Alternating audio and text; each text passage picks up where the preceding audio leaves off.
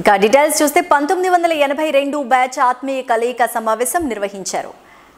Ravulapalem CRC నందుగల mini function హాల్లో America నుండి ప్రత్యేకంగా వచ్చి ఆతిథ్యం ఇచ్చిన వరలక్ష్మి పంతొమ్మిది వందల ఎనభై రెండు బ్యాచ్ సభ్యులకు ప్రత్యేకంగా ఆహ్వానించారు. సమావేశానికి హాజరైన మిత్రులు అలనాటి గత స్మృతులను నెమరేసుకుంటూ ఉల్లాసంగా ఉత్సాహంగా గడిపారు.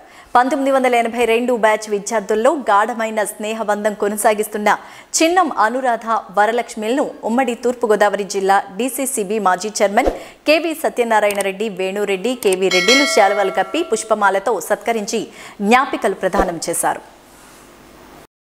మా యొక్క ప్రత్యేకమైన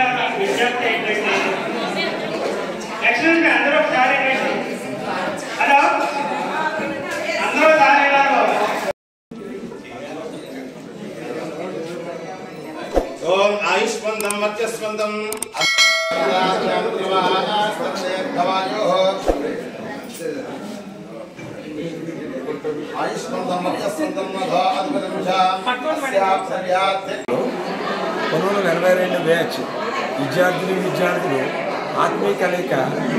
ఇది అప్పుడే మూడోసారి జరిగింది.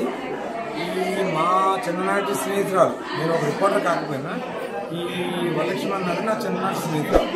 ఆవిడ ఎక్కడో సుదూర ప్రాంతాల్లో ఉన్నటువంటి అమెరికాలో ఉంటూ ముందు అక్కడి నుంచి ఈ కార్యక్రమాన్ని విజయవంతం చేయడానికి ప్రత్యేకంగా అక్కడి నుంచి అమెరికా నుంచి వచ్చి వీళ్ళకి స్పెషల్గా రావడం జరిగింది. వీళ్ళంతా కూడా అమెరికా నుంచి వచ్చినటువంటి ఆత్మీయ విందుకు తరలి వచ్చినటువంటి మిత్రులు. ఈ ఈ యొక్క కార్యక్రమాన్ని వీళ్ళలో సంతోషాన్ని స్ఫూర్తి తీసుకుని ప్రతి సంవత్సరం కూడా ఇలాంటి కార్యక్రమాలు నిర్వహించాలని చెప్పి వీళ్ళంతా కోరుకుంటున్నారు. ఈరోజు పంతొమ్మిది వందల ఎనభై రెండో మ్యాచ్ విద్యార్థిని విద్యార్థుల ఆత్మీయ సమావేశం ఈరోజు రావులపాలెం సిఆర్సీలో జరిగింది. దీనికి ప్రధానంగా అమెరికాలో ఉంటున్న వరలక్ష్మి గారు నలభై సంవత్సరాల తర్వాత ఆత్మీయ స్నేహితులందరినీ కలవాలనే ఒక తాపత్రయంతో ఈ సమావేశాన్ని ఏర్పాటు చేయడం జరిగింది.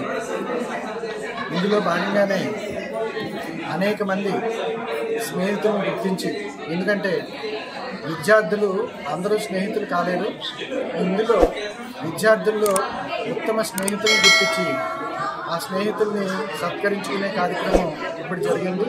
అందులో భాగంగానే అమెరికాలో ఉంటున్న వరలక్ష్మి అలాగే రావులపాలెం హైదరాబాద్లో ఉంటున్న అనురాధ ఇద్దరి ప్రాణ స్నేహాన్ని గుర్తించి వారిద్దరికీ కూడా వేద పండితుల సమక్షంలో పూర్వ విద్యార్థుల అందరి సమక్షంలో ఒక గొప్ప సత్కారం ఈరోజు జరిగింది. ఈ సత్కారాన్ని ఆశీర్వదిస్తూ మేమందరం ఇక్కడ కలవటం జరిగింది.